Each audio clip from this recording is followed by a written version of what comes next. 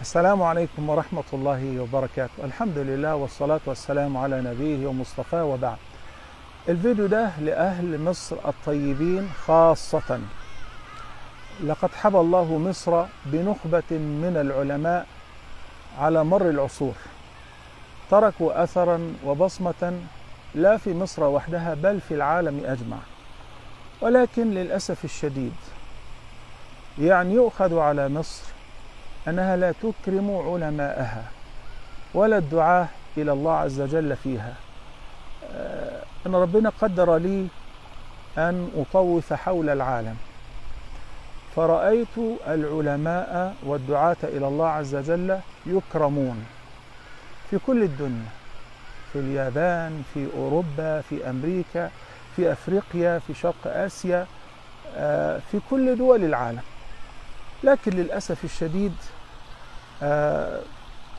وأقول للأسف الشديد وكل أسى جل العلماء في مصر لها لا سيما في هذا العصر لا يكرمون بل يتعمد إهانتهم أحياء وأمواتا. يعني لا أدل على ذلك من هذه الحملة المجرمة على الشيخ محمد مقبل الشعراوي رحمة الله عليه هذا الرجل الذي أهداه الله عز وجل إلى مصر وهدى به وعلى يديه خلقا كثيرة في مصر وخارج مصر وترك أثرا. يعني إن لم يكن من أثره إلا أن النبي صلى الله عليه وسلم قال خيركم من تعلم القرآن وعلمه وهذا الرجل علم القرآن وحبب الناس في القرآن وفهم الناس كلام رب العالمين. يعني وأنا صغير أنا كنت أرى المسيحيين في مصر يتابعهم كل يوم جمعة حلقة الشيخ محمد متولي الشعراوي. أما الآن فبين الفينة والفينة يخرج المفلسون وليس في جعبتهم شيء إلا أن يتهجموا على الشيخ الشعراوي وغيره لا سيما الشيخ الشعراوي لأنه كان أكثر الناس أثرا. فنسأل الله عز وجل أن ينتقم ممن يعادي أولياءه وأن يفضحهم على رؤوس الأشهاد. إحنا كنا ولا زلنا ندعو لهم ولكن للأسف الشديد يعني آه هم يصدق فيهم قوله عز وجل قد بدت البغضاء من أفواههم وما تخفي صدورهم أكبر. لا سيما هذا المفلس الأكبر السمج الذي لا مروءة له المفلس المجرم يعني هل خلت جعبتك من المواضيع؟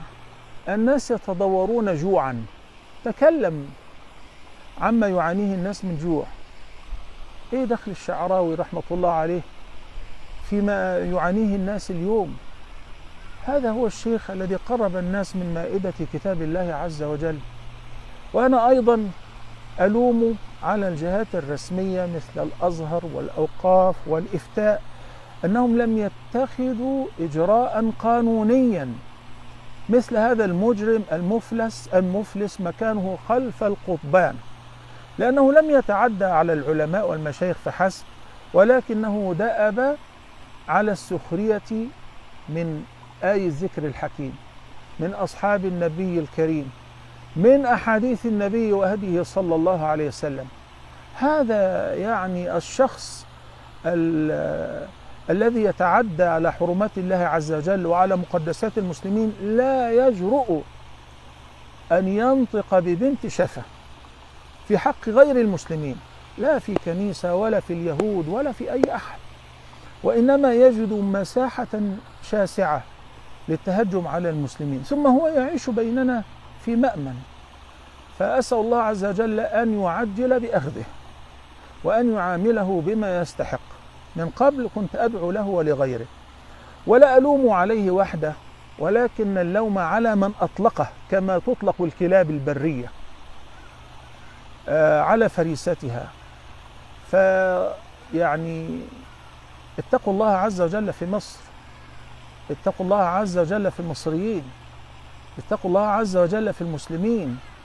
ولو أن أهل القرى آمنوا واتقوا لفتحنا عليهم بركات من السماء والأرض. ده بدلا من أن نرجع إلى مائدة القرآن ونرجع إلى الله عز وجل وتلهج ألسنتنا بالذكر والاستغفار والدعاء. ننفر المسلمين وضعاف القلوب وأبناء المسلمين اللي هم الآن. طيب أي قدوة تريدون لهؤلاء لأبنائنا؟ لما مش عاجبك الشيخ الشعراوي وبعدين أين الطرق الصوفية؟ لم تنتفض دفاعا عن الرجل أبدا. نحن الذين نذب عنه. وسوف نذب عن كل من رفع لا راية لا إله إلا الله وعن كل العلماء وعن كل الدعاة إلى الله عز وجل. نسأل الله عز وجل أن يثبتنا على دينه حتى نلقاه. نسأل الله عز وجل أن ينصرنا على أعدائنا.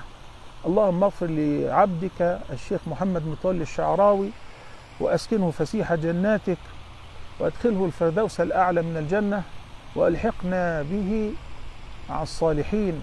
في جناتك يا رب العالمين. اللهم اغفر لنا عجزنا وتقصيرنا وكل ذلك عندنا. ليس المجال مجال تفنيد ولا الرد على ما يهدي به هذا المجرم المفلس ولكن هي يعني زفرات مكلوم وصيحة للمصريين والمسلمين إن هم يذبوا عن دين الله عز وجل وعمن كانوا يعلمونهم ولا زالوا يعلمونهم دين الله عز وجل. وفي الأخير أقول كما يقول الشاعر إذا أراد الله نشر فضيلة قد طويت أتاح لها لسان حسود. فما تفعل لا يزيد الناس إلا استغفارا للشيخ ودعاء له وحبا له. أما أنت فعليك وأمثالك من الله ما تستحق. أنت ومن أطلقك. أنت ومن أيدك. أسأل الله أن يعجل بهلاككم وأسأل الله أن يغفر لنا ذنوبنا وأن يردنا إلى دينه ردا جميلا. والسلام عليكم ورحمة الله وبركاته.